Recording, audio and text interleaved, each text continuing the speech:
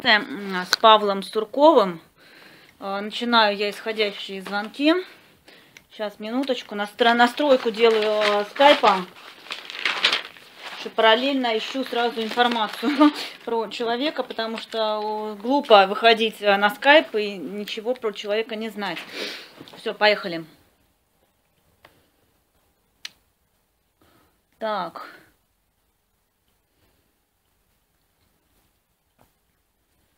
Ну что, звонки? Звонок. Получается, Павел, Ирина, а, Яна.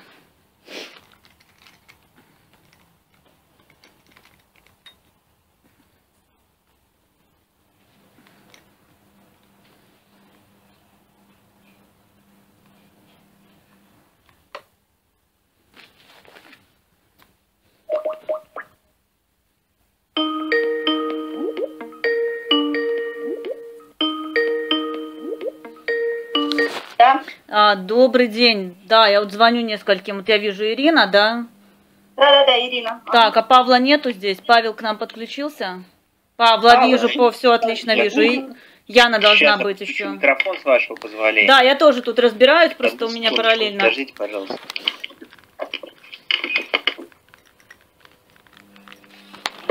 Вот так вот видно.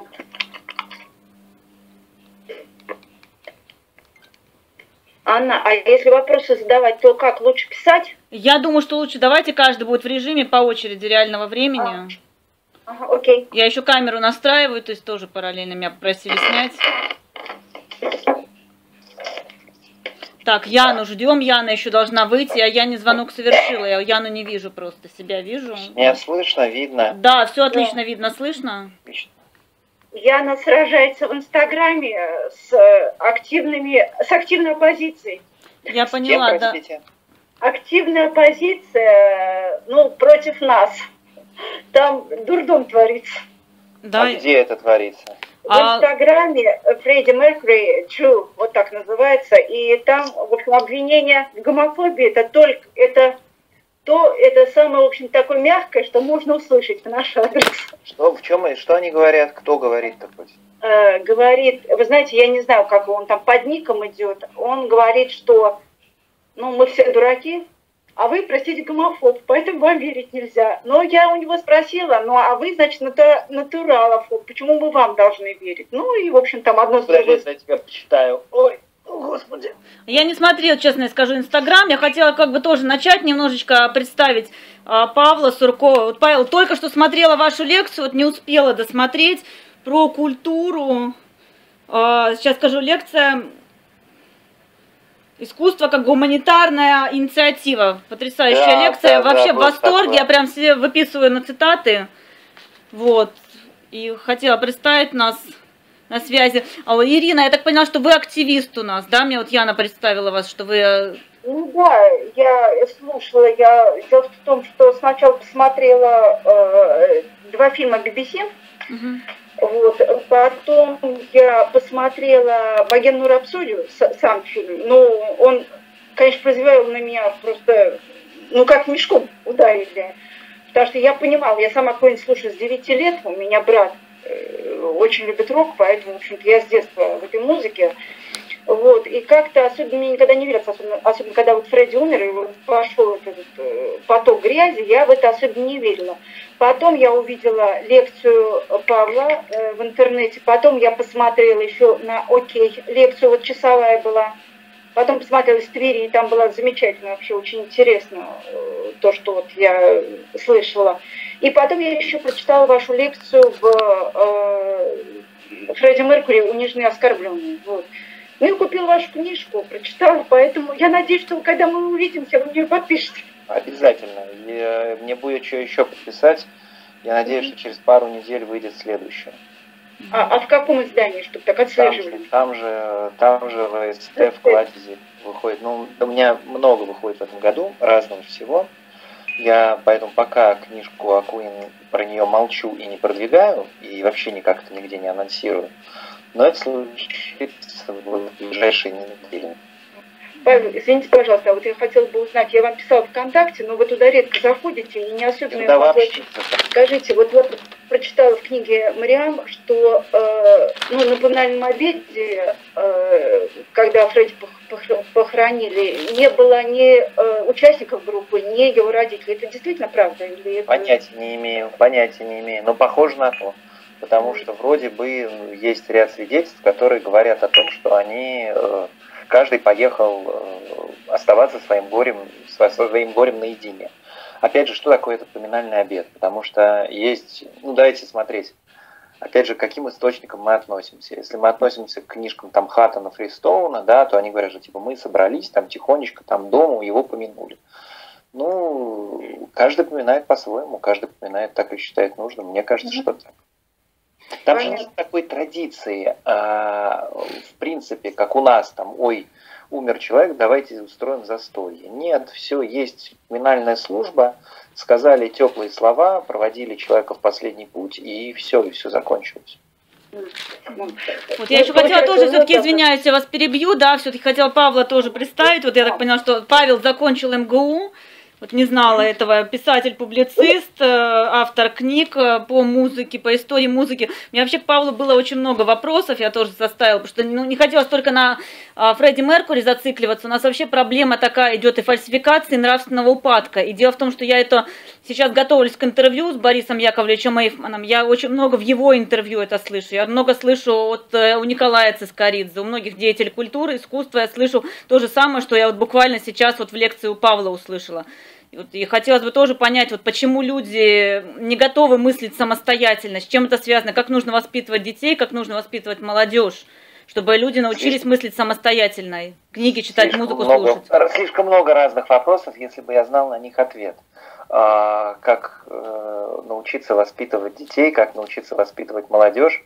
А вообще мы, для чего это все делаем, Маня? Скажите мне честно, а, это куда-то все у нас идет или что-то, что мы с этим делать будем? Или это просто наш частный, наша частная беседа? Ну, в первую очередь хотелось, конечно, познакомиться лично, вот. Но я, меня попросили сделать запись, чтобы люди другие, которые не, не имеют возможности, могли тоже посмотреть, послушать, поучаствовать.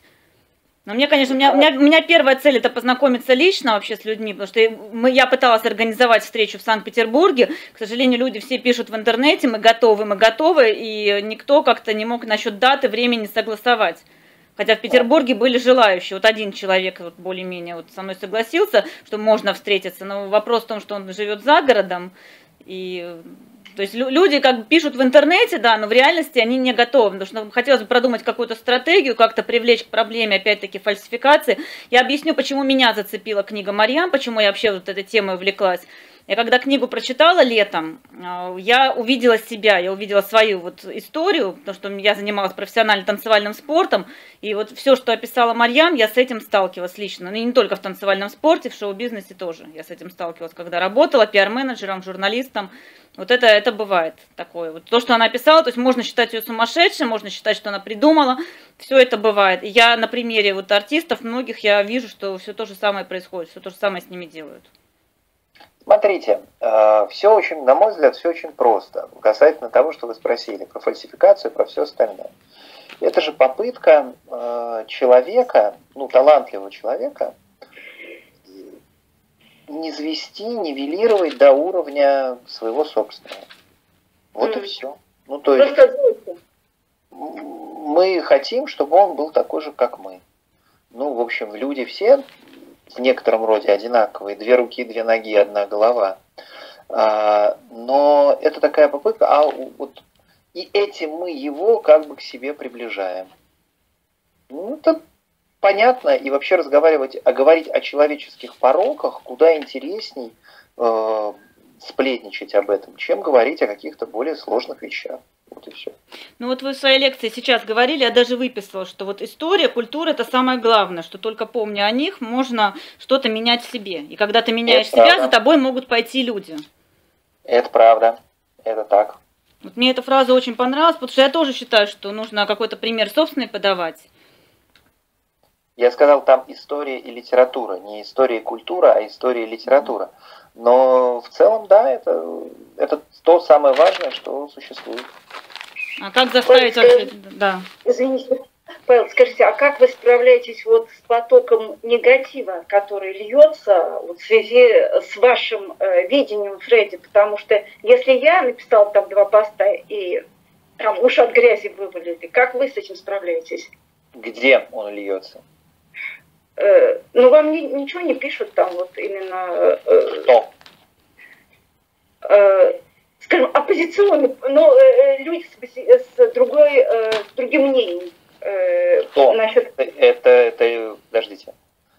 Ну, можно я отвечу тоже? Вот я... Писать? Я не посоветовала такую вещь, что не читать, во-первых, не воспринимать на свой личный счет. Если тебе пишут, вообще не реагировать на это. Вот научиться. Вот я в танцевальном спорте 20 лет у меня было травли. Я уже делала ролик на канале. Меня домогался тренер, я ему отказала. 20 лет травли. Карьера рухнула просто я научилась на самом деле вот на это не реагировать. Очень много форумов, очень много грязи было, очень много было в интернете. Звонили моим тренерам, звонили моим ученикам. Просто не принимать за свой счет. В конце концов, можно человека забанить, все, и как бы удалить его комментарий, не обращать внимания. Только так. А они будут писать... А, смотрите, смотрите, есть очень, есть очень простая вещь. А, поток, я не понимаю, что это поток грязи. Поток грязи до меня не долетает. И никогда не может долететь. Вы просто это э, не читаете и все, да? Я даже не знаю, где это можно прочесть. Мне как-то показали какую-то группу во ВКонтакте, я туда зашел, там сидят какие-то оголтелые. Ну вот да, да, вот. Там все какие-то очень странные люди. Именно в этой. С которыми Потому... ну, невозможно разговаривать. Это, ну, эти люди, они каким, ну, я уверен в том, что там, там есть какие-то люди, которые мне писали в личку, они люди наверняка хорошие. А есть какие-то люди странные ну, мне со странными людьми разговаривать не о чем. Э, Этим людям интересно, ну, не знаю, э, писать матом. Мне не интересно писать матом. Этим людям интересно хохмить на какие-то там гей-темы, и они считают, что это смешно. Да нет, это не смешно. Э, и вообще, как бы, этим людям интересно лезть в какую-то обсуждение личной жизни. Того же Фредди Меркель. Вот интересно обсуждать личную жизнь Фредди Меркель. Да какая разница вам, блин, какая у него была личная жизнь? Кого это волнует? Человек за два дня до собственной смерти сказал, моя личная жизнь была моей, моей частной территорией, моей приватной территорией.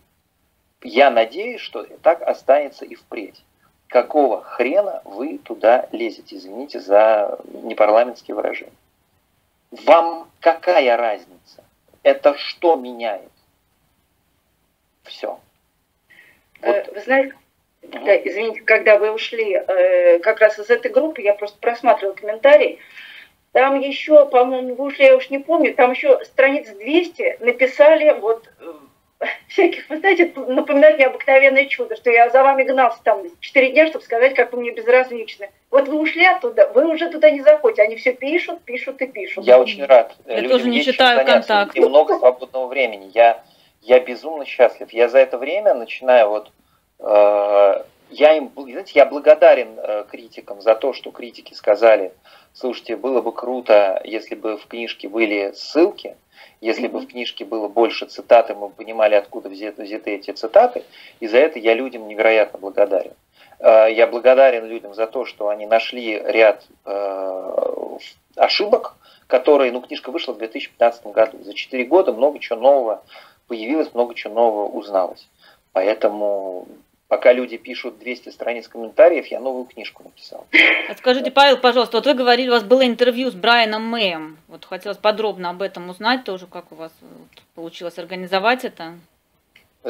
Вы хотите, это, вы хотите организовать интервью с Мэем? Ну, может быть, почему бы нет?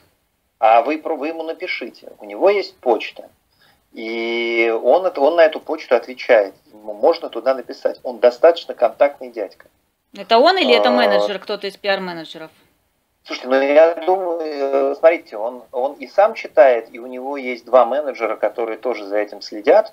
И э, дальше вопрос, смотрите, э, о чем вы хотите с ним говорить? Вот, вот в чем вопрос. Я думаю, что тематику найдем, это надо изучать, потому что я, допустим, к интервью готовлюсь, я изучаю все материалы, я готовлю вопросы, то есть, допустим, я могу и полгода готовиться к интервью. То есть самое главное согласовать. Просто я думаю, просто есть вещи, о которых они хотят говорить, а есть вещи, о которых они не хотят говорить. Ой, что-то а, мне Яна и... пишет по поводу встречи, а я, я не пишу, что мы общаемся уже. Ну что? Сейчас просто мне Яна сейчас написала, встреча состоится, как бы, вы как раз, которая ведет. Я попробую сейчас ее пригласить еще раз. Да, цепляйте ее, пожалуйста. Я не вижу ее, боже.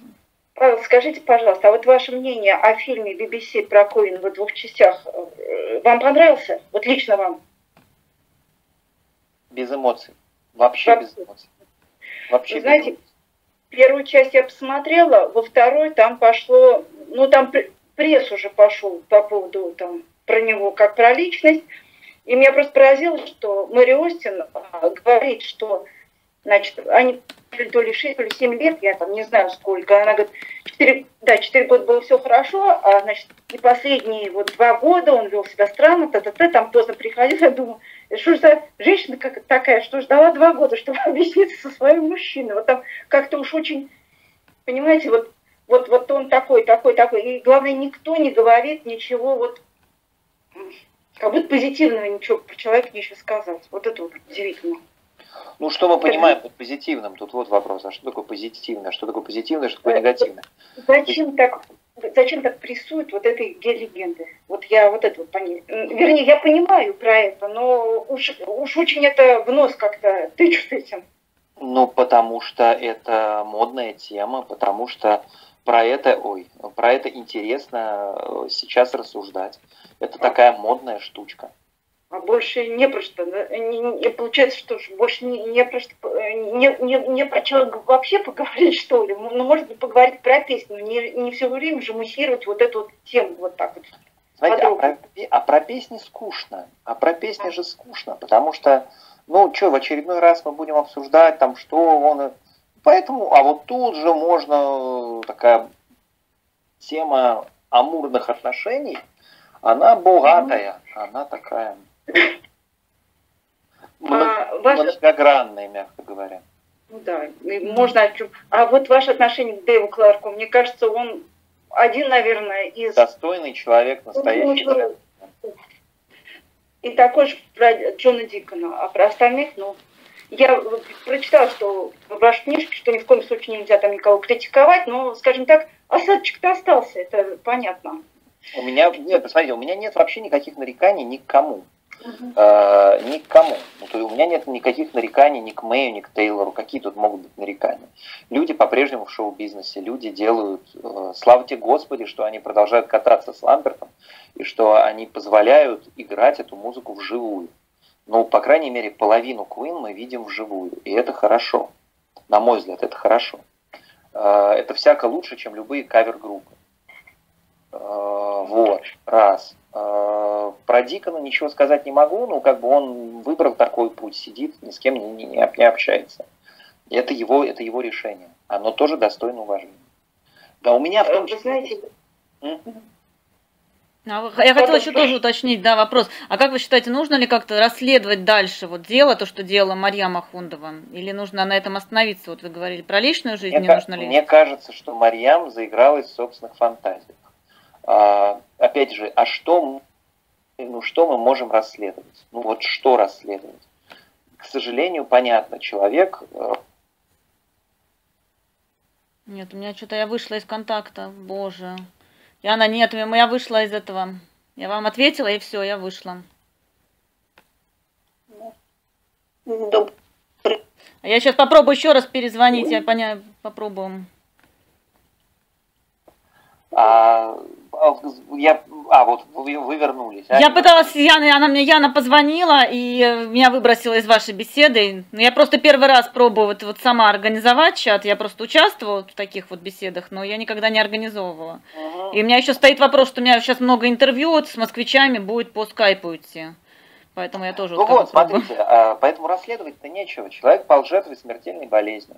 А, от которой в тот момент не было никакой панацеи. Это сейчас а, люди с этим диагнозом живут себе спокойно, принимают лекарства и живут много-много лет. И в ВУЗ не дуют, и могут и детей иметь, и могут, в общем, жить нормальной, совершенно полноценной жизнью. Фармакология достигла невероятных высот. А тогда про эту болезнь только начинали что-то узнавать.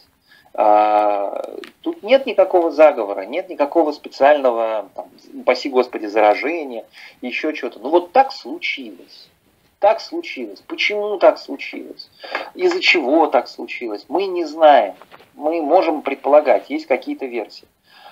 Поэтому, черт, а что расследовать? Расследовать э, обстоятельства его ухода? Они явно были тяжелыми, они были явно трагическими. Человек э, держался до последних человек очень тяжело умирал. Это была, это была страшная смерть. Мы э, что, что расследовать? Мне кажется, расследовать совершенно нечего. Мне кажется, Марьям заигралась в какой-то в определенный момент в какую-то конспирологию.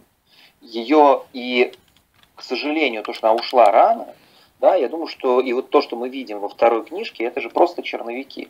Я думаю, что если бы она была жива, то книжка была бы совершенно другой. И она бы от каких-то там идей и от каких-то вещей, она бы, ну, просто никогда бы в жизни не пришла бы к таким выводам.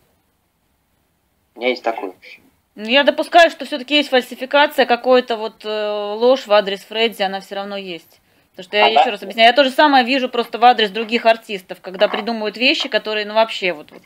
Ну сейчас есть интернет, сейчас вот еще вот этот момент. Сейчас есть. То есть, ну, вполне возможно пропаганда, что Фредди, он, он не был гомосексуалистом, и многие вот, ну, старшего поколения люди, кому за 50, за 60, они говорят, что он не был гомосексуалистом. То есть, тоже... Смотрите, давайте так. А, я скажу так. Вообще, первое, а какая разница? Раз. А вообще, какая разница? Это какое имеет значение? Никакого. Самое главное, вот, э, вот что мне не нравится, и против чего я стою, что Фредди не был э, олицетворением порока. Вот mm-hmm. это нельзя ни в коем разе позиционировать. Он не был ни наркоманом, он не был ни алкоголиком, он не был ни развратником, ни каким-то... Он не был святым при этом, он был обычный живой человек ну, со своими там достоинствами и недостатками. Но не надо делать из него гедониста, не надо делать из него такого гипергедониста. Э, это, вот этот образ, на мой взгляд, он как раз не очень соответствует действительности. Хотя, но, он, но зато он приближает его к вот такому пользователю, которому интересно писать 200 страниц комментариев, неизвестно про что. Ну, вот я тоже думаю, что по поводу комментариев, что у людей просто много свободного времени, потому что я вот в соцсетях редко, я ВКонтакте слушаю музыку только. Нет, я в соцсетях много, но я в соцсети, я в соцсети такой инструмент, который ты можешь, э, как это, настроить под себя. И я его использую. Для меня это работа соцсети, для меня рабочий инструмент. Я Но согласна. лезть в какие-то дискуссии, в какие-то обсуждения и тратить на это свое время, как, как, это, как есть такая шутка, боже мой, в интернете опять кто-то не прав. Да, ну, ну, конечно, там кто-то не прав. Конечно, срочно надо идти в какую-нибудь дискуссию, в какую-нибудь группу и срочно написать там какой-нибудь комментарий, потому что вот твое мнение очень важно для нас. Ваш звонок Мне очень жалко времени на это. Нет, я сижу, я иногда на Ютубе комментирую, когда я еду в метро, чтобы вот убить вот время просто, потому что я тяжело метро переношу, например. И вот я иногда Читай, специально сижу. Читайте книжки. Согласна. Вот. Павел, скажите, а вот а вот Фредди, э, я смотрела интервью сегодня его с Дэвом Кларком, э, он вот в интервью, он отличался от того Фредди, который он был в жизни, потому что он довольно манерный, он э, себя, конечно, ведет как, не то что как дива, но манер, ну понятно, потому что он артист. Вот от того, что он просто в, обычной жизни, он очень отличался. Я ну просто как... Я же, я не знаю, но я думаю, но я думаю, что, конечно, отличался, потому что он прекрасно понимал, что это как бы работа на публику, это нормальная такая актерская работа. Я должен э, давать интервью. Ну вот э, он, как я сейчас, в какой-нибудь маечке, э, лох, лохматый и, и страшный, никогда бы в жизни не стал бы э, выходить на публику. Конечно, он готовился, конечно, ему было важно. Э, чем интервью с Кларком хорошо, потому что уж в кои-то веки его не спрашивают ни про что личное, а спрашивают про музыку, и он говорит про музыку. Вот вам пример, да, э, ошибки Мариан, да, которая вдруг подумала, что никакого мюзикла «Тайм» не было.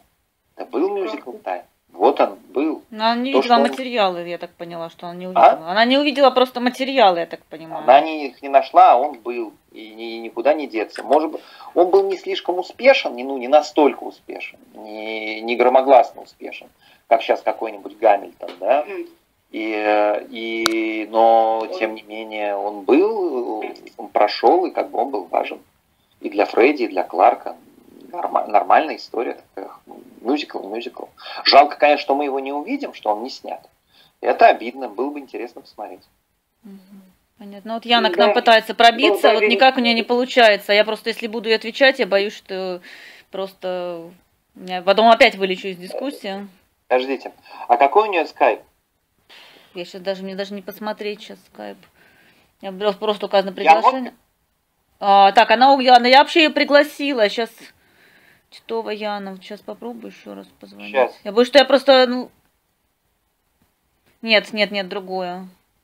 Я просто боюсь, что она не, не войдет. Это она Яночек? Нет, Титова Яна она называется. Вот, я Яну подсоединила. Я вижу, что четыре участника. Яна, вы нас слышите? Здрасте, Яна. О, ура, Яна. Да, слышу. Вот наконец-то, да. Мы не видим. Если вы включите видео, мы тоже вас будем видеть. Ну, у меня не включается с андроида, но с конференц-связь только звук. Господь с ним, андроид зло, но ничего не поделаешь. Ну, я так поняла, что Ирина как раз про Яну говорила. Да, вот про комментарии. Я вот не видела комментариев, хотя я подписана, но вот не читала, честно Слушайте, говоря. написали какой-то, я тоже посмотрел, но написали какой-то комментарий. Зачем на это обращать внимание? И уж тем более не надо ни на какие комментарии отвечать. Зачем? Пишут и пишут, конечно. Пока еще задевает. задевает. Зачем, Яна? Это буквочки на белом фоне. Черные буквочки. За ними кто-то сидит, кто-то кому нечего делать. Вы зачем тратите на этих, которым нечего делать, свое драгоценное время? Время – это невосстановимый ресурс, единственный ресурс, который не вернуть. За... Написали и написали, могли написать что угодно. Напи... Завтра напишу, что мы с вами сейчас вечером сидим и едим детей. Мы будем это, мы будем это опровергать? Нет. Это будет правда, конечно. Павел, скажите, а над чем вы сейчас работаете? Вот я хотела бы тоже. Вот, я смотрю, книг у вас много очень. А, у вас какие-то лекции да. планируются еще вот, в Петербурге, например? Ну, продол... не продолжается. У меня сейчас э, большая передышка, потому что закончено еще четыре новых книжки, которые будут выходить постепенно. Две выйдут в этом году, может быть три. Я надеюсь, что все-таки еще две уже выйдут точно в следующем. А, и у меня сейчас такой этап такой серьезной перезагрузки. Надо понять, про что писать дальше, про кого писать дальше. И вот скорее сейчас я сосредоточен над одной большой научной работой и над, над еще одной пьесой. Я пишу для одного из московских театров большую пьесу. И я должен был ее закончить уже где-то месяц назад, но я сильно протормозил, и поэтому мне нужно как-то с этим разобраться.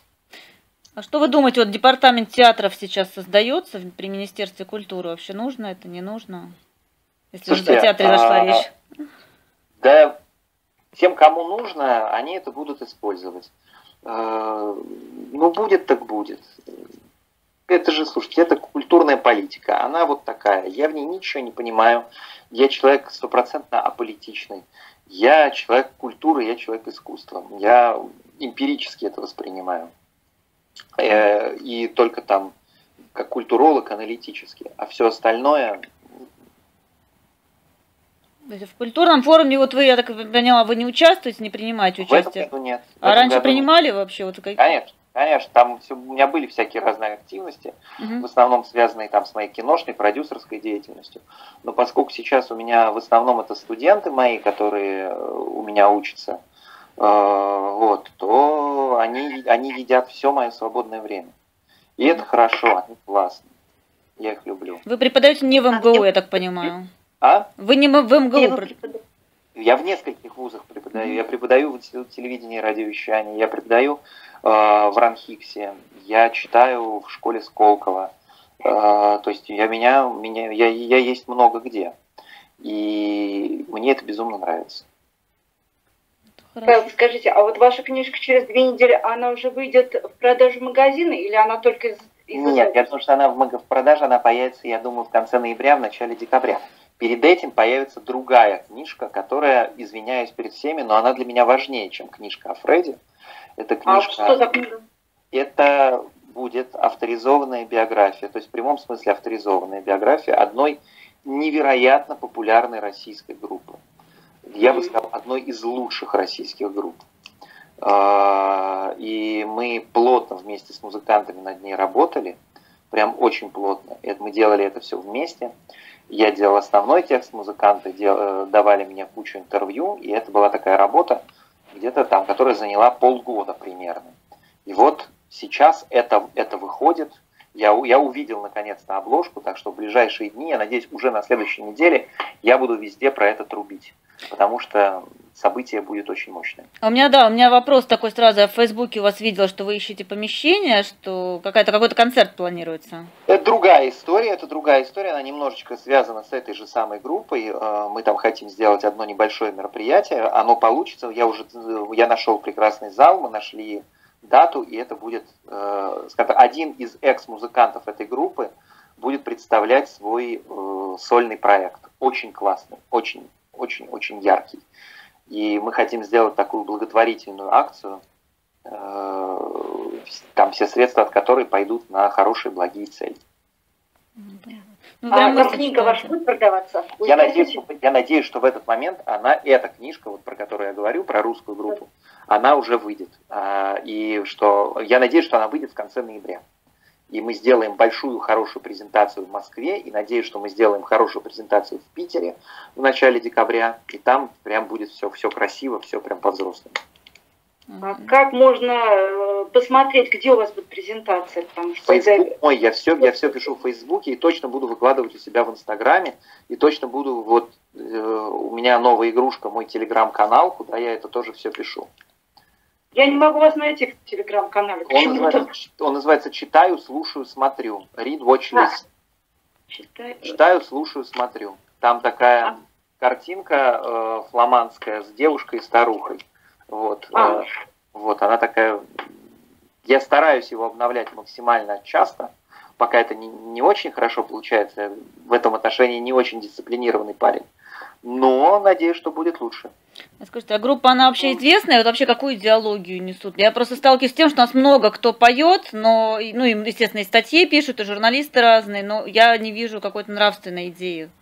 Вот сейчас у кого? Ни, ни у кого вообще, вот ни в творчестве, ни в искусстве, ни в кино, ни в музыке. А что мы понимаем, а что мы понимаем под нравственной идеей? Вы же понимаете, что есть нравственность с разным знаком. По модулю нравственность бывает разной.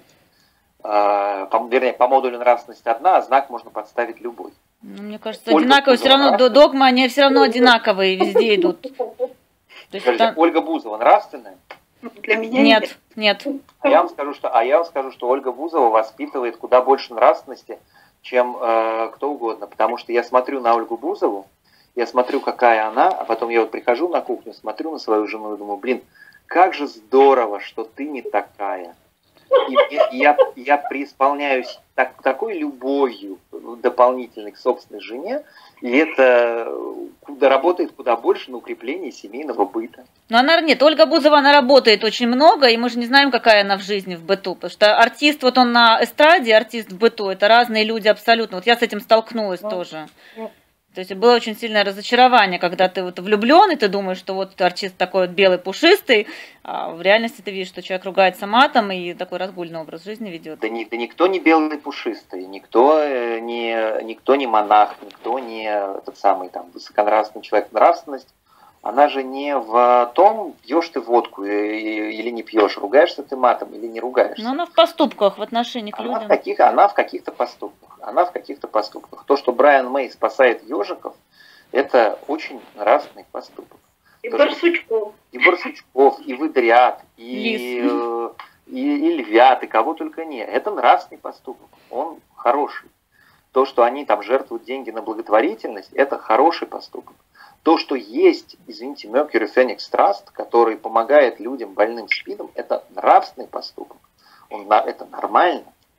А, поэтому, а все остальное, ну, слушайте, ну, будут они культивировать. А вот когда, а вот когда Питер Фристоун едет с лекцией под названием «Титаник» и сравнивает Фредди с «Титаником», это безнравственный поступок. А когда Питер Фристоун э, собирает вокруг себя людей э, и э, значит, выпускает книжку кулинар, любимых кулинарных рецептов Фредди и устраивает шоу, на котором он готовит еду, которую любил Фредди, и подписывает свои собственные книжечки, на мой взгляд, это не очень нравственный поступок. Но кто я такой, чтобы осуждать мистера Фристоуна?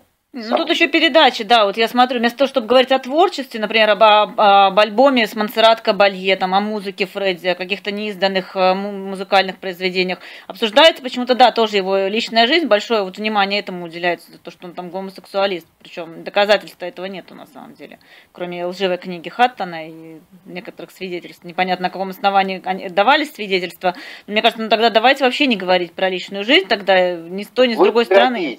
Вы погодите, сейчас, сейчас жирок-то польется. Сейчас через в следующем году выйдет книжечка воспоминаний Тора Арнольда и Ли Нолана.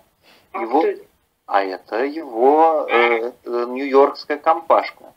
Это еще любовники, еще очередные. По-моему, у этих ребят хватает э, такта и разума, но они ну, я, я, простите, я здесь точно не компетентен, потому что я не, не влезаю, как они себя позиционируют, но в моей голове они такие типа фристоуна. То есть мы такие, мы как бы в одной компании, но у нас нет амурных отношений, мы типа просто кореша. Вот. Ну, Вы знаете, удивительно, что э, э, люди, вот типа Кларка или Дикона, они не говорят ничего. Он про нас как про мертвых, либо хорошо, либо никак. А здесь, получается, мертвый срамы не имут и льет на голову все, что можно, потому что вроде как ему ответить ничего.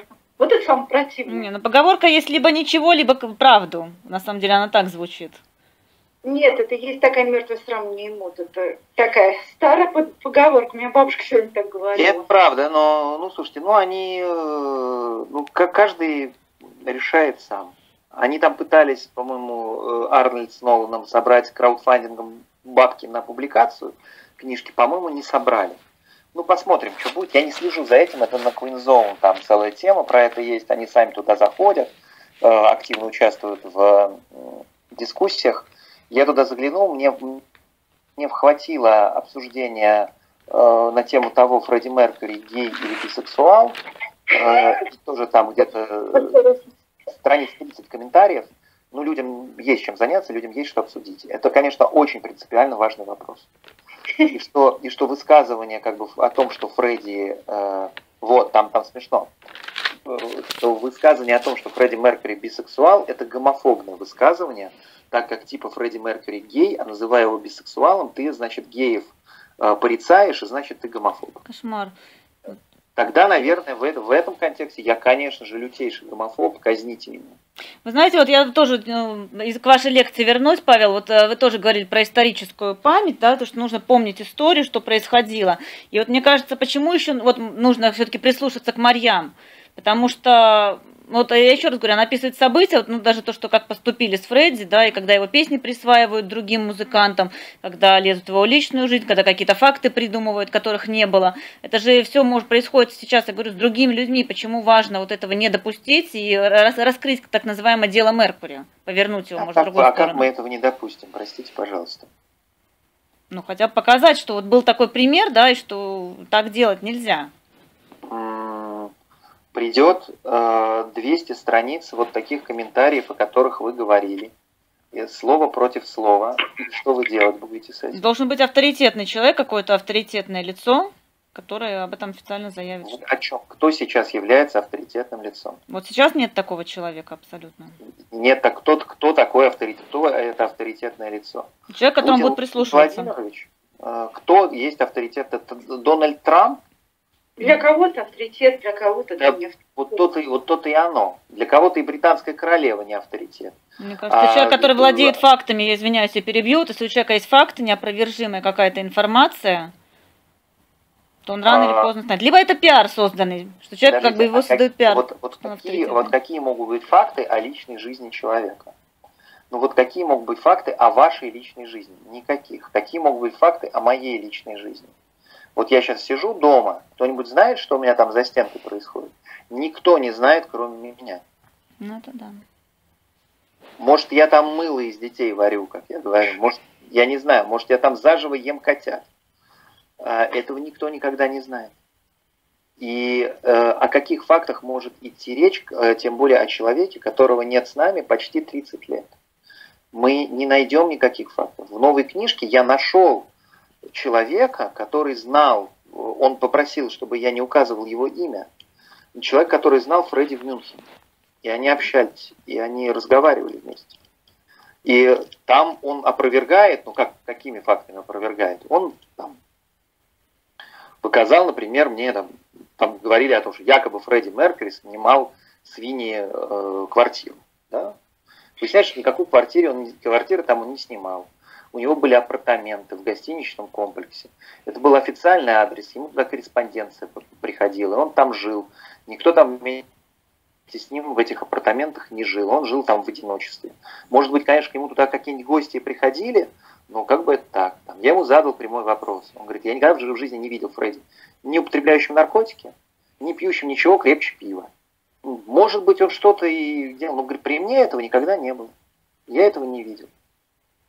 Павел, а сколько вы, ой, простите, сколько вы писали первую книгу вот, э, про Фредди, ну, про Квин? Сколько времени у вас заняло это? Я не помню, я не помню. Я ее задумал-то давно, а она дальше как-то собиралась, собиралась из кусочков, и потом вот так собралась. Я помню, что я ее закончил очень быстро. А, а почему я вы помню, решили что... писать вообще вот про Фредди, про Квин, про музыку? Вот, ну, потому что я их люблю, потому что я их ценю, и мне было интересно сделать это высказывание. Павел, можно вопрос? Сколько угодно. Как, как вы думаете, почему все-таки музыканты не хотят поддержать, как бы опровергнуть эту ложь? А зачем? Какая у них, какая у них причина? Э, причин может быть масса. Первая. Ведь они же близкие люди. Почему Первое. они так поступают? Но подождите, они, они поступают очень просто. Они про это никак не говорят. Они про это вообще не говорят. Просто как, может, как можно молчать, когда твоего близкого человека поливают грязью 30 лет? Давайте, давайте, теперь, теперь смотрите. Есть интересная штука, которая а, на самом деле а, Есть такое понятие, как мнение. А, и есть такое понятие, как общественная мораль. Вот в общественной морали современной а, то, что человек является там, гомосексуалистом, бисексуалом, неважно, не является поливанием грязью. Ну, то есть не является. Это не грех. В рамках общепринятой морали это нормально. Соответственно, комментировать эти высказывания нет никаких, никакого смысла в силу того, что это вообще никак не касается морального облика человека. Раз. Но ведь это неправда. Поэтому в этом грех, в том, что это ложь о человеке. Мы, еще раз, человек сказал, моя, Фредди сказал, моя личная жизнь, мое личное дело. Грех только в том, чтобы рассуждать о его личной жизни. Ну, я согласна, Мы что это неправильно. о ней да. не знаем. У нас нет никаких свидетельств, доказательств, кроме слов там, там Фристоуна, Хаттона, еще кого-то. Есть какие-то слова. Э, на эти слова он сам возразить не может. Все. Как бы, ну, есть слово одной стороны, а слово другой стороны его невозможно достать. Связи с миром мертвых нет. Увы. Ну, это ре- реалистично, да. Ну, лично вы уверены, что это неправда? Я, я уверен в том, что он сказал, что не надо лезть в мою личную жизнь. У меня нет никаких объективных доказательств, подтверждений того, что его личная жизнь была вот такой, как ее описывает Фристон, Хаттон и прочие. У меня нет этих доказательств. И ни у кого, как мне кажется, тоже нет. Но у меня нет оснований в этом отношении им верить. Допустим, а, да, да, дальше я говорю, а допустим, они правы. Что это изменит в моем отношении к Меркури? Ничего. Вообще ничего. И не должно изменить. Ну, у нас вот на имени Фредди, я почему говорю, что да, вот нужно отстаивать, что я когда захожу, ну, тоже иногда бывает группа в Фейсбуке, я скидываю, например, на свои видео туда ссылки. И я вижу, что, допустим, один пост по поводу творчества, по поводу музыки, какой-нибудь хороший, действительно интересный. Остальное все вот они делают на его имени пиар, что он там гомосексуалист и так далее. Все обсуждается эта тема. То есть это ну, вот. ну, не а, очень правильно. Если бы Фредди хотел, чтобы его, допустим, он, допустим, он был нетрадиционной сексуальной ориентации. Если бы он хотел, чтобы это высказывание, чтобы это э, э, имело значение, он бы придумал, как это сделать. Ну, согласна. Но для него это значение не имело. Почему это так? Вот меня возмущает только одно. Почему человек, который никак не комментировал свою личную жизнь, почему мы можем его при этом теперь возводить на пьедестал гей-пропаганды. Не надо этого делать. Ну, Он себя с этим говорю. миром не ассоциировал. Почему мы должны его ассоциировать с этим миром? Да будь он хоть трижды, хоть десять раз гей. А вам не кажется, что сейчас вот с этим э, толерантностью у нас, простите, несколько озверели? Мне кажется, что скоро нормальные люди, натуралы, будут выходить на парады как секс-меньшинство. Ой, понимаете? давно пора. Я, да, я давно хочу... Э, Организовать Когда-то Леша Кортнев э, по Арбату прошелся маршем сексуального большинства. Я очень хочу э, принять участие в таком марше, если он... Вы знаете, как когда-то Кристи, да, я оптимист, я оптимист, я гетеросексуалист. Прям хочется запеть, когда я вот смотрю на все, что происходит. Это же какой-то без... ну, какой-то идиотизм просто. Что получается, что нам надо защищать себя от них, потому что они слишком назойливы, слишком как-то требуют к себе внимания и агрессивные, очень агрессивные люди. Вот смотрите, а, и да, есть те, которые, как везде, это знаете, есть агрессивные вегетарианцы, есть... Ой, это да. Ой, я, я, я, я их, кстати, я вот этих, я, кстати говоря, понимаю. Я, я вегетарианка, по... например, но я никому не навязываю. Я вам сейчас секрет открою, я полгода тоже вегетарианец, но по вынужденным причинам, э, по здоровью. Вот, я, и, и я готов уже бросаться на людей, потому что очень хочу мяса. Очень хочу. Прям очень хочу. Мне уже шашлык снится.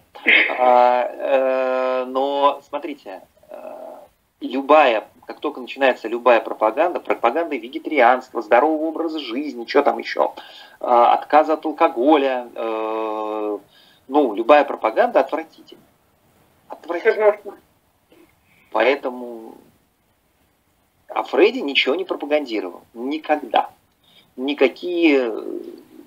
Э, заметили, да, у Куин не было ни единого политического высказывания. Вообще да. не единый. Ну, вы знаете, вот тоже, опять-таки, вот вы, Марьям писала, что у него был, была идеология в клипах, в музыке, символизм. И вы в своей лекции, ну, уже про литературу, приводите символизм из «Войны и мира», например, вот описание обеда на четыре страницы, да, и там вот символика... Это Анна Каренина. Это Анна Каренина. А, Анна Каренина, да, да, и что там вот э, это четыре страницы описывает все произведение. Да. Вот вы тоже говорите о символизме. Я, на ну, самом конечно. деле, символы у Фредди вижу в клипах, вот, про которые вот Марьян писала. Да, с одной стороны, символы, конечно, есть, но опять же, это символика, которая э, где-то она сознательная, где-то, мне кажется, она может быть вообще бессознательная. Ну, то есть он просто, он где-то увидел какую-то красивую визуальную картинку, а будучи визуалом, поскольку он был художник, да, он это мог зацепить и как-то это привнести в творчество, в визуальный ряд. Нормально совершенно. Но он же не зря Фейри Фелла Масса Строк написал потому что стоял перед картиной, ему он видел эту картину, да, и он ее описал, для него была важна эта картина. Ну, он вообще потрясающий. Я смотрю, что он действительно разбирался и в литературе, и в музыке, и конечно, в балете, конечно, и языки конечно. знал. То есть это я ну, поражаюсь, это вот таких людей нету. Чем больше узнают, тем больше удивляюсь, как можно все знать вообще ну, не, ну, конечно, да, да, давайте это не, не перегибать палку, не все знать, но быть достаточно эрудированным человеком, разбираться в искусстве, разбираться в литературе, разбираться в музыке, в поэзии, все это понимать. Да, он действительно был такой. Это не, это не тупой чу, э, чувак, который только тратит деньги э, и проводит свое время на вечеринках. Это не персонаж из книги Хаттона и не персонаж из книги Фристоуна. Фристоун вообще неприятный, вот я не знаю. А? Верят, что Фристоун познакомил его с миром музыки, вообще оперы. Просто смешно даже, но люди верят. Ну, Не, ну Лесли Энн Джонс тоже, вот как кто-то читал книгу, как вот к этой книге относится? Новая, которая, вот, я не знаю. она не он... новая, она, она давно переведена-то, господи. Ну, пиарит ее очень сильно. Переведена недавно. Э, ну, слушайте, ну, у Лесли Энн Джонс есть одно достоинство. Она, по крайней мере, брала интервью у живого Фредди. Ей в этом отношении повезло, больше, чем мне. Э, она видела живого Фредди, я не видел живого Фредди, увы. Так, да. Ребят, у нас 50 минут, вот еще, вот как мы так рассчитывали на 30, у нас уже 50 минут. Да, ну давайте говорим, говорим. Я пока, я пока еще не срубаюсь, у меня поезд только завтра в 7 утра.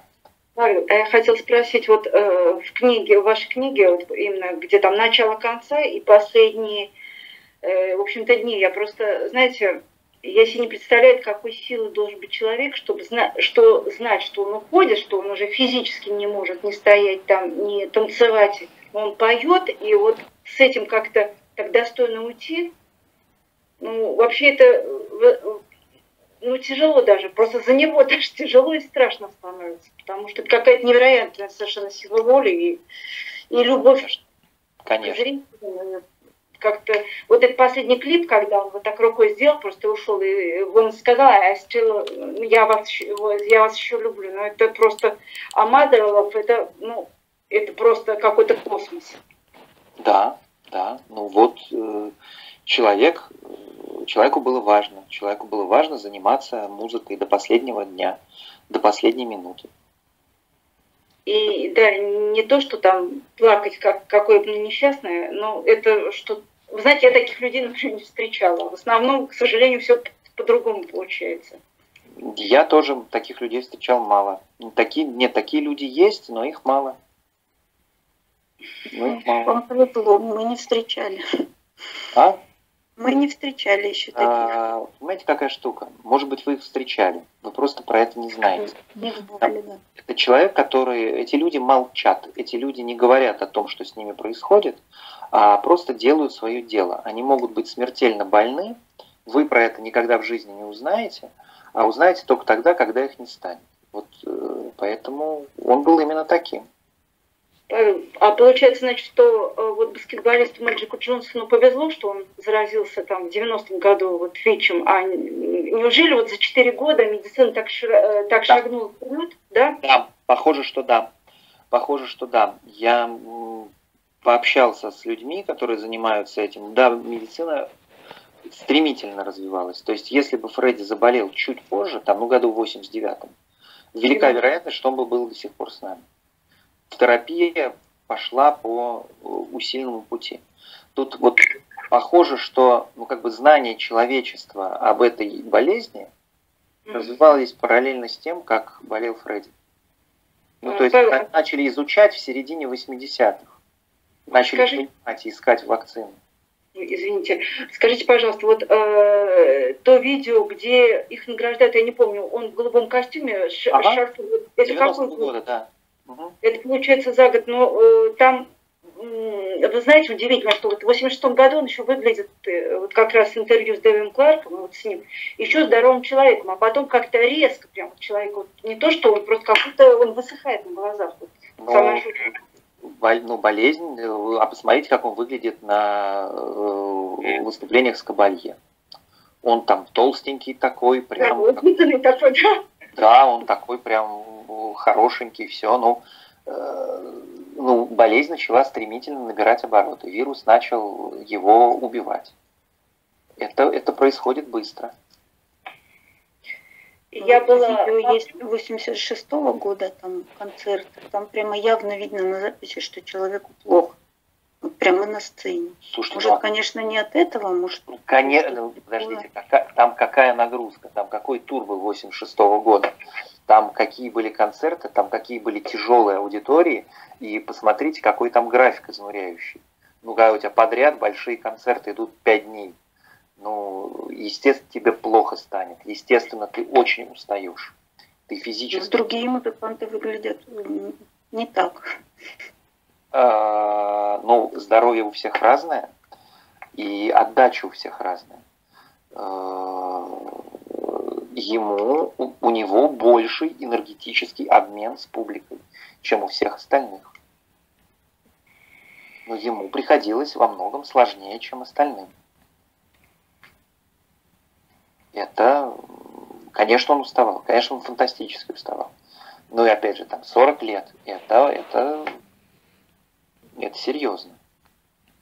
Это сейчас, э, когда мы видим Мика Джаггера за 70, но мы понимаем, что за Миком Джаггером стоит там тоже чудеса фармакологии. И, и личные физиотерапевты и прочее, прочее, которые позволяют Мику Джаггеру быть в прекрасной форме. Как и сейчас в прекрасной форме Мэй и Тейлор, да, которым тоже много лет. И они прекрасно выглядят, и они играют многочасовые концерты, и дай бог им здоровья. Ну, когда как вы думаете, почему Дикон ушел из группы? Понятия не имею, захотел. Но мне кажется, что ему просто ну, надоело. Э, э, он не захотел превращаться в кавер-группу имени себя. Я его понимаю. Вы знаете, я смотрел тут серию Симпсонов, когда там ой, не помню, э, кто-то из Симпсонов, отец, по-моему, в виде Фредди Меркури как раз да, да, да, там было. Там кто-то из фанов написал, я предпочитаю Симпсона, а, Симпсона Адама Ламберту. Вот я тоже, когда на него смотрю, на Адама Ламберта, но он мне не нравится. Я, он мне не понравился ни на американском идоле, потому что, ну, мне он просто не понравился. И потом мне кажется, знаете, что он хочет быть Фредди, а он не Фредди, он даже вот близко к нему не стоял. Мне а вот, ну, кстати говоря, мне кажется, что нет, потому что он, э, мне просто кажется, что он хочет быть таким вычурным молодым человеком. Он не подор... мне кажется, что мне кажется, что он не подражает Фредди. Он просто еще, ну, молодой еще, у него, у него все впереди.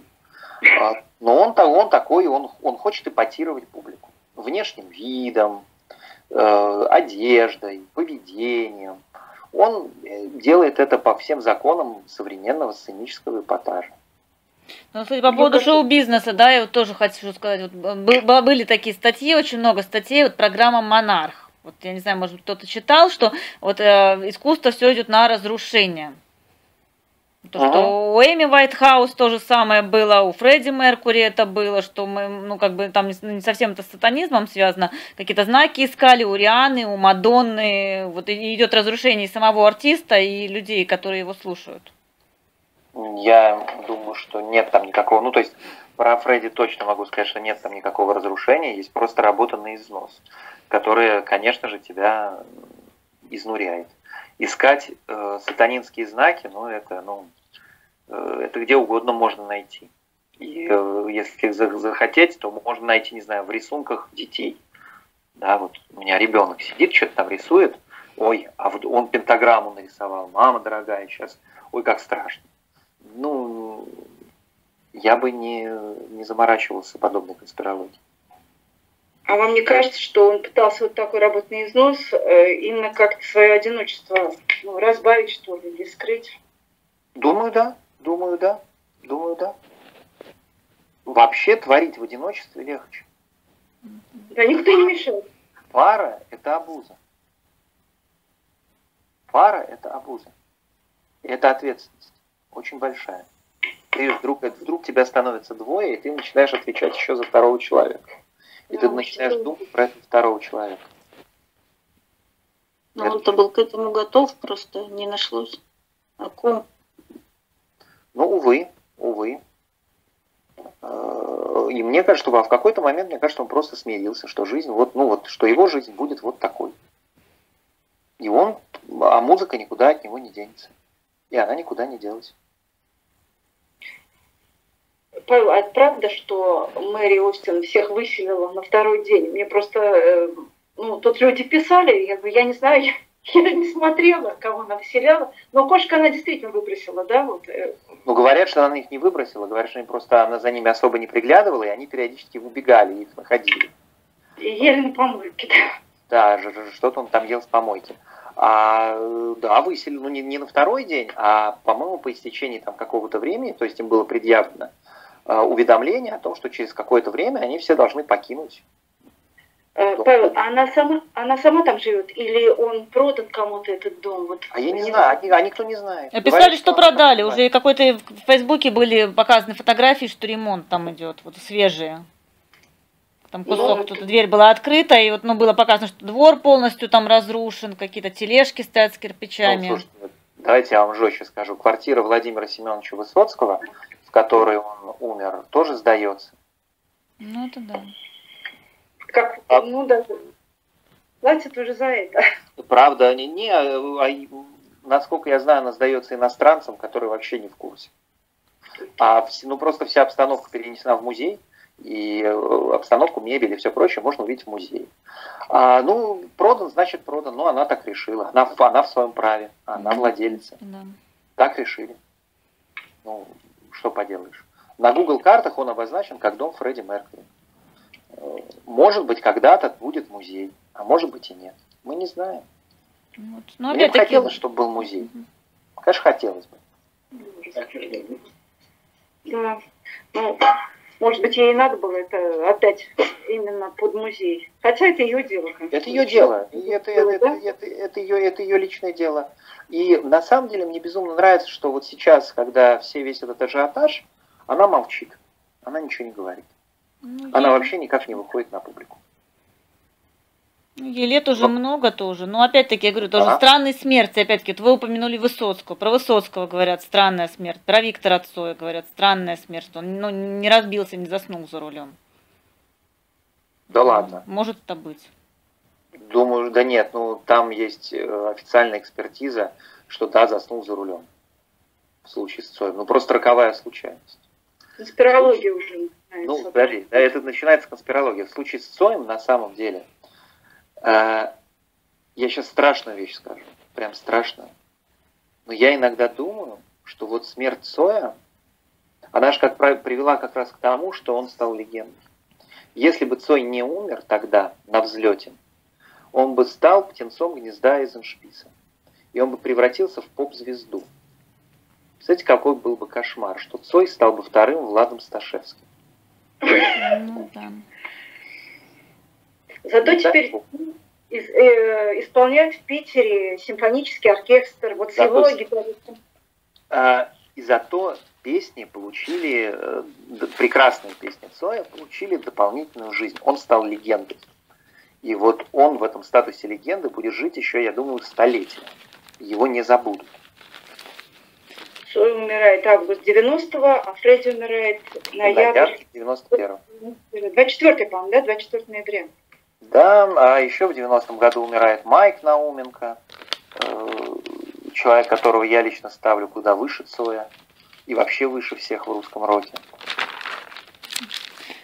Скажите, а сейчас есть какой-то музыкант, вот, который может изменить также вот мир, как вот Фредди да. менял такого уровня? Кто да. это? Если не а, я думаю, что их достаточно много. По образованию, например, по нравственным, опять-таки, каким-то ориентирам. По нравственным ориентирам не знаю. Хороший вопрос. Не знаю. Но есть музыканты, которые оказывают очень большое влияние на массы, на умы. И есть музыканты, которые ощущают свою ответственность за это. Например, Канье Уэст. Например, Тейлор Свифт. Она мне тоже нравится. Например, LP. Которые понимают, что за ними стоит и которые понимают, э, что они делают, например, Ник Кейв. Да. Их вполне достаточно. То есть их уровень а соответствует, да, получается, подготовке? А из русских есть, э, их тоже много. Ну, например, Борис Борисович Гребенщиков. Например, как раз Это... герои моей вот ближайшей книжки. Это вообще... Ну, то есть, Среди молодых таких нет, получается.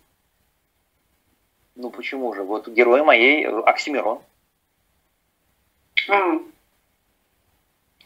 А вы знаете, про, послушала Влади, э, сочиняя мечты. Я думала, что русский рэп это кошмар, а оказалось, что, в общем-то, вполне себе приличная вещь. Вполне э, Влади 25-17, да и какие-то вещи у центра тоже, в общем, вполне себе достойные. Э, все не так плохо. Все не так плохо. А какой посыл к молодежи вот они через свои песни несут вообще? Потому что я в России не знаю, я слушаю зарубежное испанско-итальянское радио, да, там действительно уровень, там нравственные песни. А вот, в России я не вот слышу, я, к сожалению. Я опять же о героях своей следующей книжки могу сказать, что там люди просто делают так, они пишут песни так, чтобы люди, которые слушают эти песни, дополнительно образовывались. Искали зашифрованные в этих песнях послания, искали э, разные аллюзии культурные, мультикультурные и просвещались. Там люди подходят к творчеству с невероятной э, отдачей. А это рок, рок это, это, это рокеры. Это рокеры. Это настоящие рокеры, для которых как раз а, Queen является ориентиром абсолютным по звучанию. И они по звучанию, по саунду очень похожи. Вы заинтриговали. Это люди, которые в свою программу включают, ну, например, на недавнем концерте сделали офигенный вариант, офигенную цитату из Under Pressure. Это люди, которые играют часто на своих концертах 39. Mm-hmm. Это ну, одна из крутейших отечественных групп. Вот прям крутейших. Ну вот очень многие говорят, опять-таки, вот я сейчас готовлюсь к интервью, да, того же к Борису Эйфману, с интервью с Борисом Эйфманом, а, и вот он говорит о том, что нужно знать хорошо основу, чтобы что-то придумывать новое свое, а никто новое Конечно. не придумывает. И интересно, допустим, как, как какому-то балету классическому он падает. Но я причем слышу не только у Бориса Эйфмана, это я и у Цискоридзе слышу Николая, и вот у других у их коллег тоже постоянно это слышу что классика теряется, как, как в классике теряется интерес вот, к классической музыке, классической литературе, классическим спектаклям и так далее. Ну, где-то да, где-то нет. Например, в Китае интерес к классическому балету растет. Ну, с Китая. К чистому классическому балету. В Китае он невероятно популярен. Он снова начинает, набирает по обороты в Англии. Труппа королевского балета э, набирает обороты. Посмотрите, насколько популярен сейчас Сергей Полунин. Абсолютно. Полунин это пиар больше все-таки. Пиар не пиар, но он же хороший танцовщик. Ну, он хороший. Он очень хороший, да. Все равно искусство подстраивается оно под вкусы публики. Вот я смотрю, она не старается сформировать вот э, по поводу, опять-таки, к нравственности. Вернемся, вкус публики под себя, оно подстраивается под публику. Потому что все-таки есть коммерция. Ну, ну, конечно, коммерция есть. Но э, тот же самый, вот смотрите, а что делает тот же самый Цискоридзе, что же делают те же самые, тот же самый Полунин? Э, помимо того, что они присутствуют в публичном поле, как, безусловно, знак, значимые артисты, но Цискоридзе берет и фактически э, дает вторую жизнь Вагановскому училищу. И э, там теперь стало гораздо лучше, насколько я знаю, с точки зрения даже простых бытовых условий. То есть девочки больше не моются холодной водой, как это было там 10 лет назад. А Полунин э, возглавляет училище в Севастополе. И теперь там тоже детишки могут, э, могут учиться. И, как он говорит, я хочу, чтобы в классический балет возвращались мальчики. Чтобы это было не просто искусство для девочек. Да честь ему и хвала за это. И вот, вот, вот за такие вещи, я считаю, уже этим людям надо в ножки кланяться и говорить, что ну, вы делаете очень большое, важное дело. Ну а в киноиндустрии есть такие, потому что вот опять-таки я училась на режиссуре, столкнулась с тем, что а, не прививается к молодежи вот э, широта мышления, очень узко мыслят современные режиссеры какими-то клише. Да и нет, они не ну могут снимать какие-то фильмы. Ну посмотри, что делает Куарон. Ну посмотри. Ну, Куарон, так делает... это другое, это 61 -го года рождения он. Ну и нормально, а вы, а вы еще, вам нужен кто-то помоложе, ну посмотрите Джокер, посмотрите, что сделал тот Филлипс. Ну Джокера ругают очень сильно. А, вы посмотрите, это очень большое кино. Большое кино. Э, посмотрите, что делают там, если совсем молодняк такой. Да не, ну есть они все. Ну. В России есть такие режиссеры? Быков. Юрий Быков. Ну, это старого поколения, опять-таки, режиссер. Ну как, он достаточно молод. Юрий Быков достаточно молод. Ну вот сейчас вышел «Сторож», прекрасная картина. Отличный фильм, прям вот вообще отличный. Посмотрите э, фильм под названием «Пусть будет Лиза». Да, я знаю, да, слышала. Ох, ох, посмотрите эту картину. И вот это очень, очень хороший фильм. Очень страшный, очень болезненный, но очень хороший. А кто режиссер? А, сейчас я вам скажу.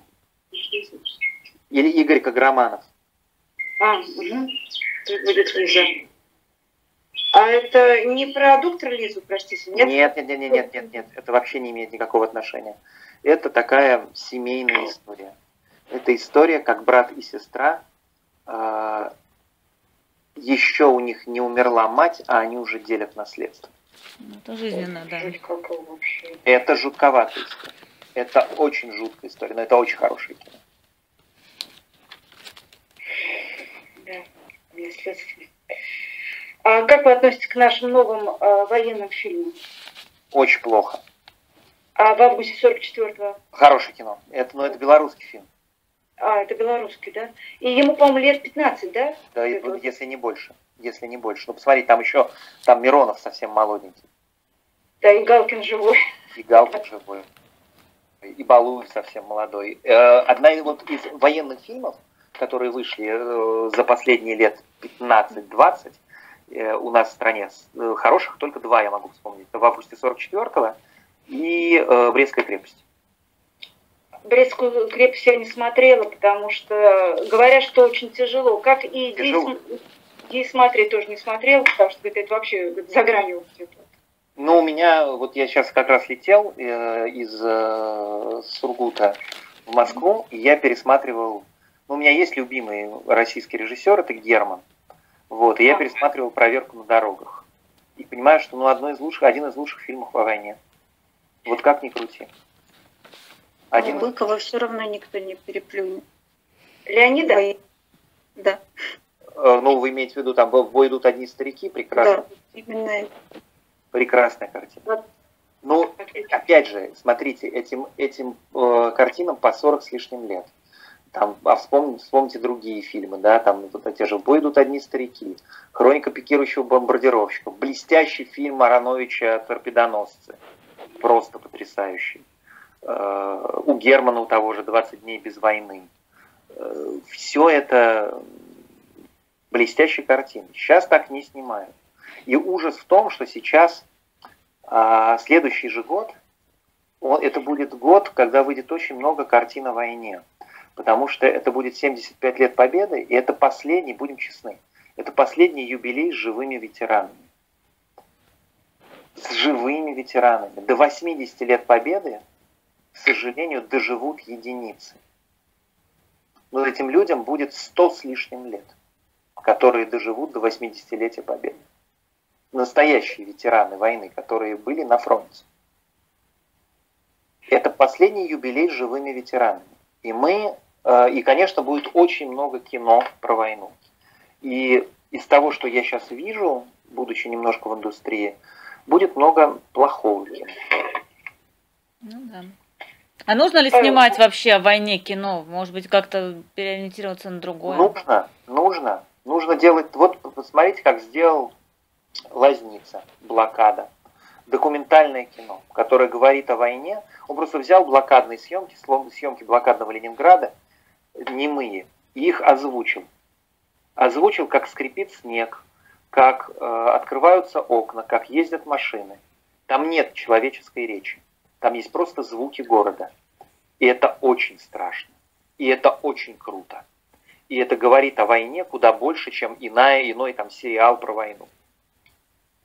Это очень круто сделано. У меня брат был в Питере, как раз вот мемориал э, блока, э, вот блока, э, я не помню, как он там называется точно. Это наверное. да? Да, да, ну он говорит, что я зашел, там, говорит, рыдают взрослые дяденьки. Ну, говорит, я 20 минут, говорит, как вышел, я не смог вообще, говорит, ни с кем говорить, потому что, ну, очень впечатляет. И вы знаете, я что заметила, у нас почему-то вот как э, какие-то праздники показывают в основном все старые фильмы, новых очень мало. Так слава, только слава богу, что показывают старые. Ну и будем их смотреть, потому что они хорошие. А битва за Севастополь, что вы скажете об этом фильме? Слушайте, ну он такой, он такой, на мой взгляд, он немножечко попсовый, но я не могу э, к нему относиться э, непредвзято. Я безумно люблю Юлию Пересильд. Я считаю ее самой красивой женщиной в нашем кинематографе. Поэтому там, где появляется Юлия Пересильд, я теряю волю. Сейчас как раз новое дело вот майор Черкасова, он, она была у него в первой части. Она была в второй, она была в палаче. Первая мозга, вторая палач. Роскошный фильм, она роскошно сыграла. Я, очень, я майора Черкасова очень люблю. Ой, вот, вот такой. Я очень люблю. Это единственный отечественный сериал, который я смотрю с нескрываемым удовольствием. С нетерпением жду нового сезона. Они снимают сейчас седьмой. Ага. И, ну, э, и Смоляков очень хорош, он прям... Хорош, хорош, хорош, хорош, хорош, он прям молодец. Он прям молодец, он так, он очень обаятелен там. Да там все, там все хорошо. Там это, хоро, это нормальный, хороший такой детектив. Интересный. Ну, и все-таки он похож на мужчину, а не какие Просто когда вот эти красавчики писанные, ну это уже как ну, ну не похоже. И вот когда сня, пересняли наш э, фильм «Экипаж» вот, с Козловским, я как даже смотреть не смогла, потому что это ну, научная фантастика. Старый фильм. Его не пересняли, его не пересняли, окститесь, он продолжение. А, понятно. Он продолжение, там же появляется героиня Яковлевой. Ну, мне кажется, что ничего бы мир не потерял, если бы они его ничего не сняли. не потеряли, ничего не потеряли. Первый экипаж был хорош сам по себе.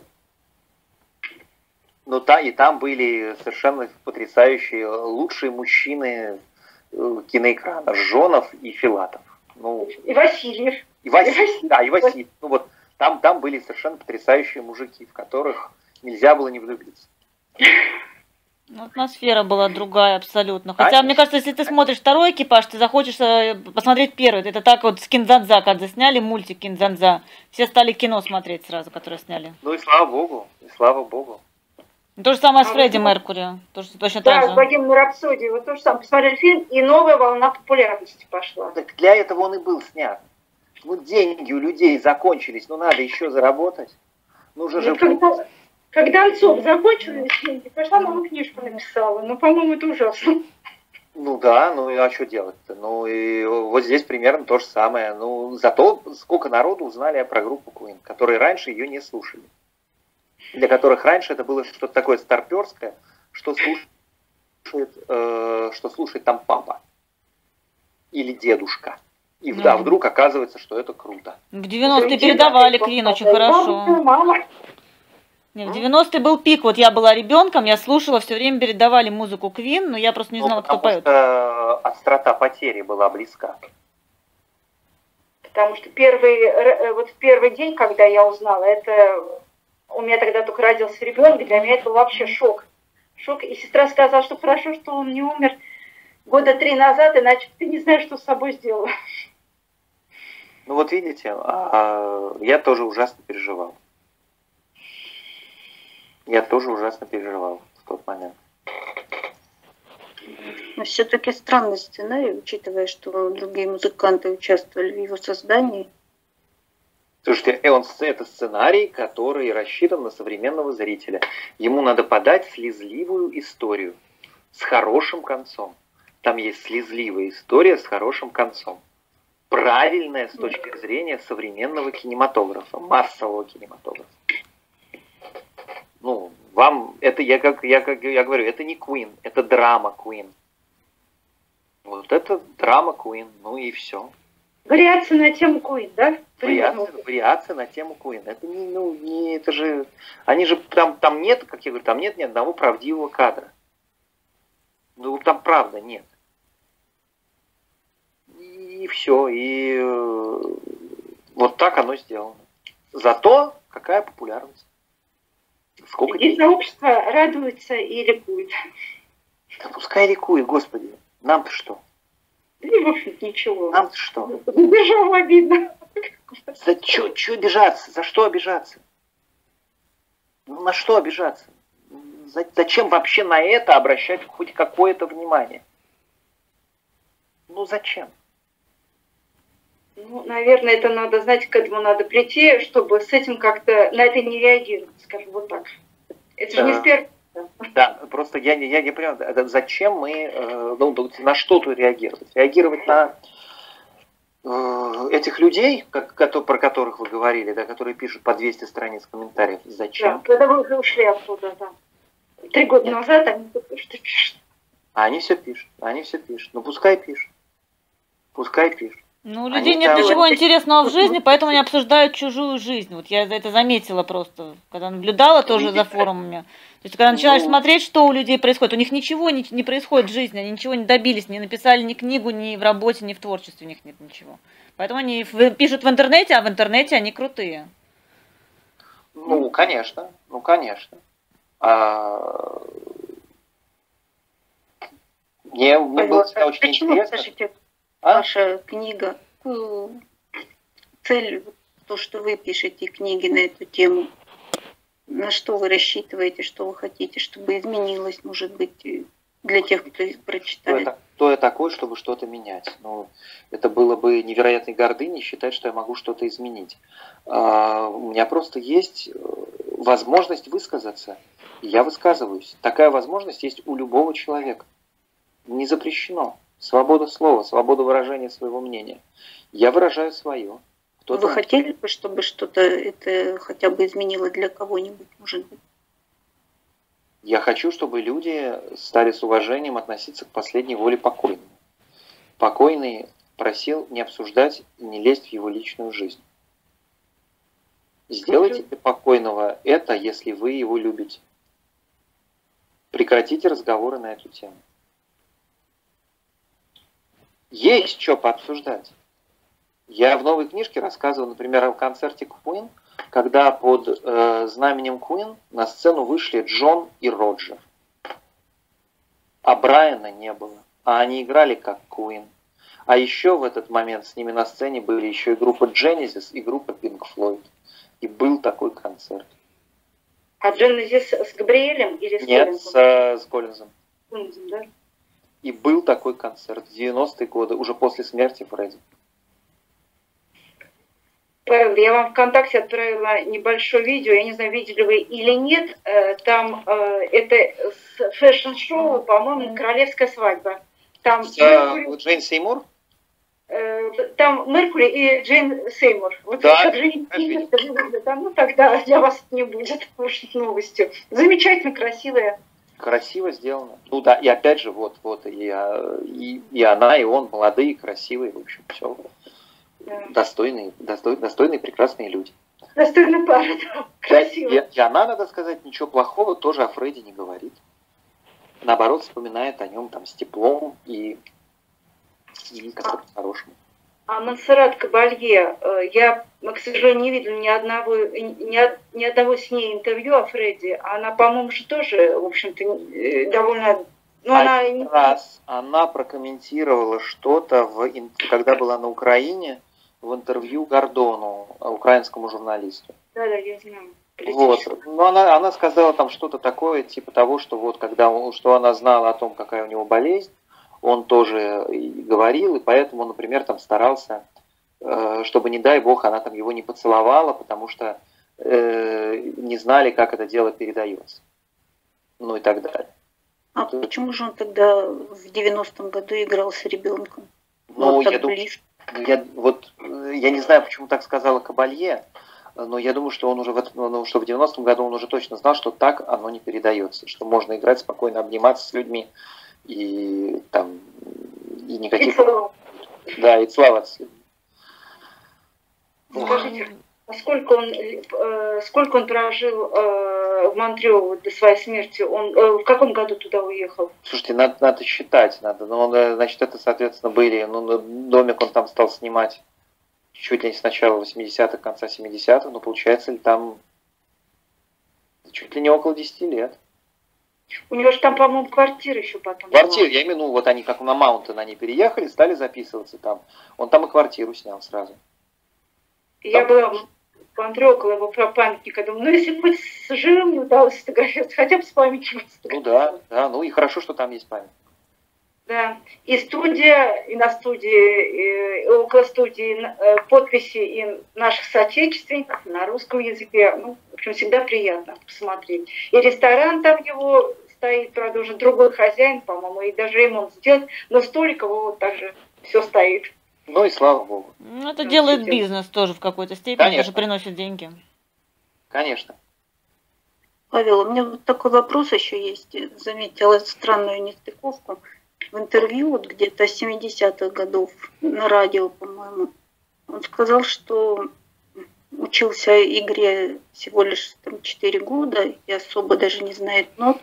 А Мансерат потом сказала в интервью своем, что когда они познакомились, он ей сказал, что долго учился и вокалу, и композиции. Ну, то есть как-то вот это странно. Да, может, слукавил, господи, в интервью. Какой раз? В перв... Или... Ну, в первый раз сказать, да вообще отстаньте от меня, я, ну, вот я ничего не умею, я сама. Ну, у него видно, что у него музыкальное образование есть, потому какую сложную Конечно, музыку он сочинял, и сейчас такой Он воспитывался как классический британский подросток. Папа его, папа сделал все, чтобы сделать из, из сына обычно э, нормального британского юноша. Он воспитывался как британец из хорошей семьи, где надо учить музыке, где надо уделять внимание спорту, где надо поступить в хороший вуз. Он, он отли, простой английский паренек. Неужели в Индии были такие хорошие интернаты? Конечно. Э, не забывайте, что это британская колония. Британия туда пришла э, довольно плотно. А откуда вы думаете такое количество индусов, прекрасных программистов? В Гугле, которые работают, которые работают в Microsoft, там половина людей, это они из Индии выходцы. Это было позже, а там 50-е годы все-таки а. Ну и а какая разница? А, да и папа, опять же, он работал-то, в общем, на британское правительство. Папа был, э, хотел для своего сына типичной британской жизни. Находит лучшие школы, отправляет, ну, хорошие школы, не лучше, хорошие школы. И отправляет туда ребенка учиться. Интернат, а вот Гарри Поттер, все как надо. А его отношения с родителями, э, где-то пишут, что у него были очень натянутые и нехорошие отношения с отцом. Это правда? Не знаю, но мне кажется, что нет. Мне кажется, это были просто ну, нормальные отношения человека, который, ну, в Британии всегда так, все. Э, ребенка рано отдают в интернат, ребенок там учится, э, есть дистанция определенная, но есть при этом уважение. Поэтому я думаю, что было там примерно так же. Ты живешь своей жизнью, э, пока родители могут обеспечивать тебе обучение, они за тебя платят, но дальше ты получаешь образование, а тут уже крутись сам, работай, делай, что хочешь. А в каких книжных магазинах планируете, вот помимо той презентации вот, э, э, книги о рок-группе, э, где еще будет, ну, в Москве, в каком магазине будет, э, вы планируете, по крайней мере, вот вашу встречу с читателями? Везде, я надеюсь. Ну, то есть я думаю, что, я не знаю, ну, как-нибудь сделаем, в Логосе сделаем в каком-нибудь. Я напишу, мы точно, мы точно сделаем нормальную презентацию. И подпишите нам книги. Конечно, ну, конечно, ну куда же я денусь? Ребят, я на самом деле приглашаю, там предлагаю уже немножечко так закругляться, потому что уже да, время давайте, поздно. Потому да. что мне завтра... Может быть, встретимся еще в другой раз. на вокзале. Мне тоже Спасибо вам огромное. Вообще очень интересно. Спасибо. Спасибо. Да, мне было приятно познакомиться со всеми, хоть живьем увидеть всех. Все, удачи и процветания. До свидания. Спасибо большое. Спасибо, увидимся. До свидания. Ян, вам огромное спасибо. Спасибо вам тоже.